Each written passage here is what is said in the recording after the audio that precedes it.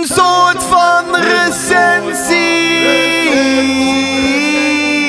Ja, nou daar ben ik dan met mijn eh, eerste soort van recensie. Ehm, en het is eh, een speciale. eh, het, is, het was eigenlijk al een speciale, want het was een soort felicitatie.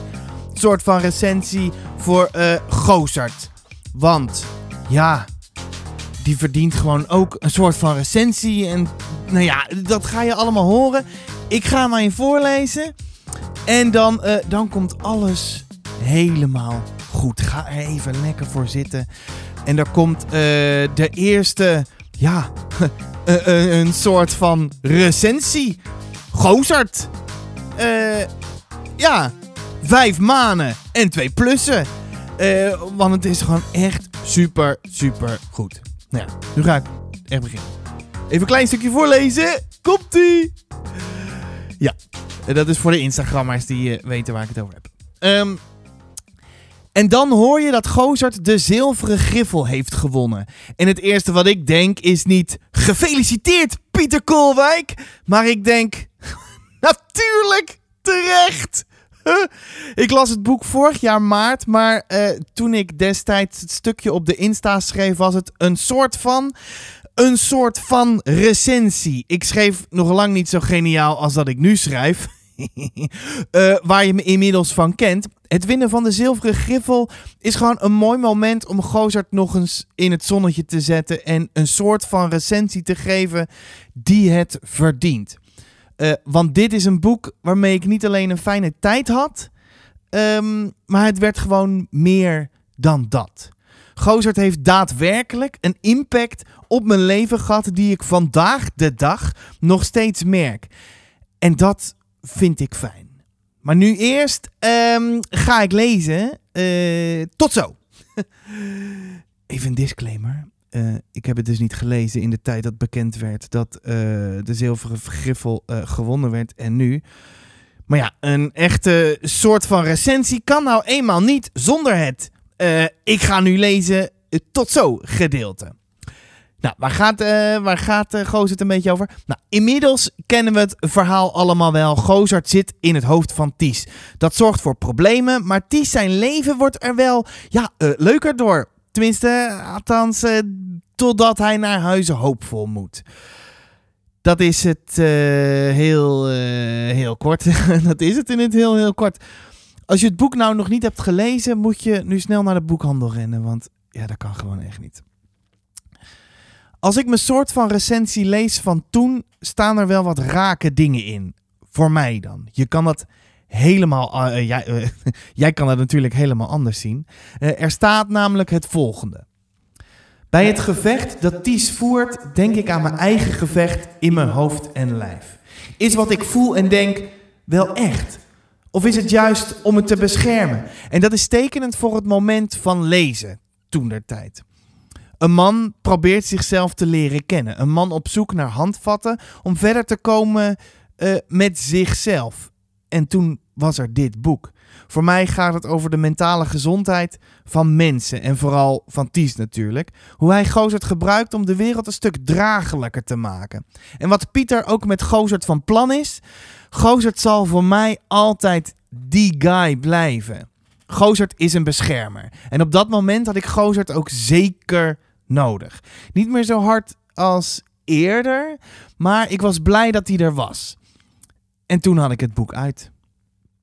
Toen ik het uit had, was ik overdonderd. Een Nederlandse schrijver. Hoe was het mogelijk? En dat is serieus wat ik dacht.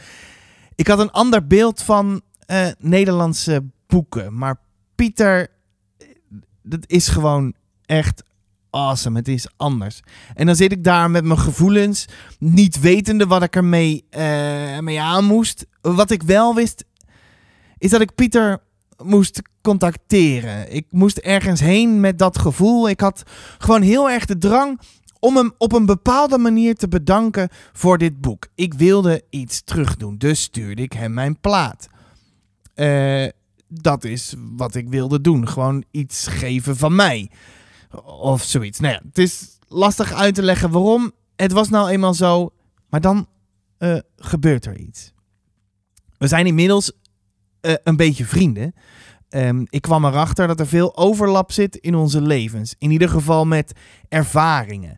En toen kwam ik er steeds meer achter waarom Gozert, en Luna helemaal, zo goed bij me binnenkomt.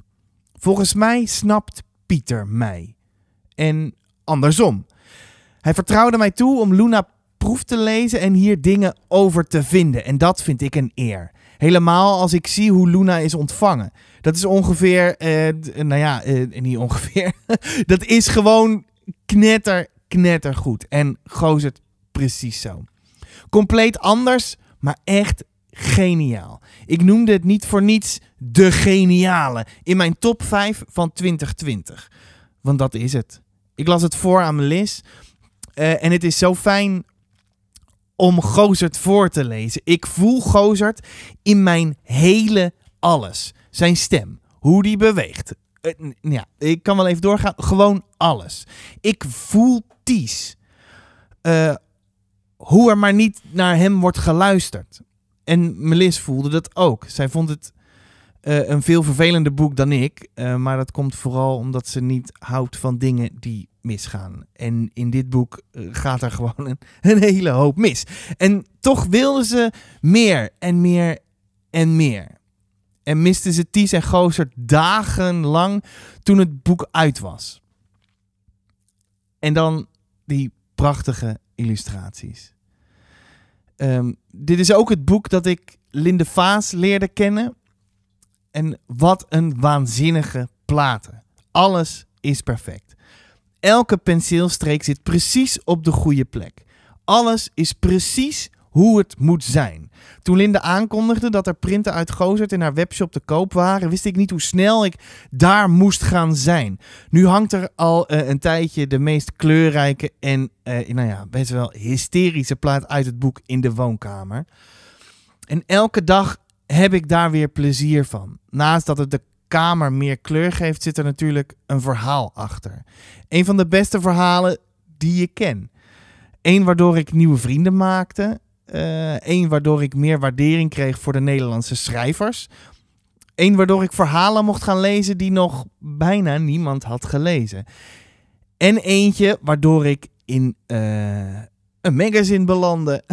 Want Gozert is uitgegeven door Lemniskaat. Ja, laten we zeggen dat dat de grootste uitgeverij van het land is. Wat blijkt, is dat de mensen die daar werken ook uh, helemaal te gek zijn. uh, het lijkt wel alsof Gozert mij een beetje kennis um, heeft laten maken met mijn soort mensen. Dat klinkt een beetje gek, maar zo voelt het wel een beetje. Het contact is uh, sarcastisch, cynisch en toch liefdevol. En daar hou ik van. En dat voelen we bij elkaar, geloof ik. En daardoor snappen we elkaar ook. En toen vroegen de Lemnies of mijn broer, boswachter Bert, dat ben ik, uh, niet, voor, uh, ze zou, uh, niet voor wat voor ze zou willen doen. En volgens mij zijn wij nu dus ook vrienden. Door Gozert maak ik dus allemaal nieuwe vrienden. Ik hou van Gozert en hij blijkbaar ook van mij. Dat was dus mijn soort van recensie over Gozert. Ja, waarschijnlijk. Ik, ik, heb je helemaal niks inhoudelijks verteld. Praktisch niks. Ik, ik zeg eigenlijk alleen dat je dit moet gaan lezen. Het is echt een waanzinnig bijzonder boek. En doe het gewoon. Wees gewoon niet zo'n chagrijn van. Oh, dit boek is eh, zo gehyped. Ik ga het niet lezen. gewoon doen. Je wordt daar een blijer mens van. Je wordt daar een, empathischer mens van. Uh, begripvoller mens. Het zet je aan het denken. Doe maar gewoon. Ik zeg uh, tot de volgende. Een soort van recensie of zo. Ik heb geen idee hoe ik dit af, af moet kondigen of aan moet kondigen. Nee. Maakt ook allemaal niet uit. Dit was de eerste. Uh, luister. Ja, ik weet het ook allemaal niet hoe ik dit moet doen. Misschien uh, geef het allemaal sterren en like het en al dat soort dingen meer. Nou ik zeg over en uit. Doei! Een soort van recensie!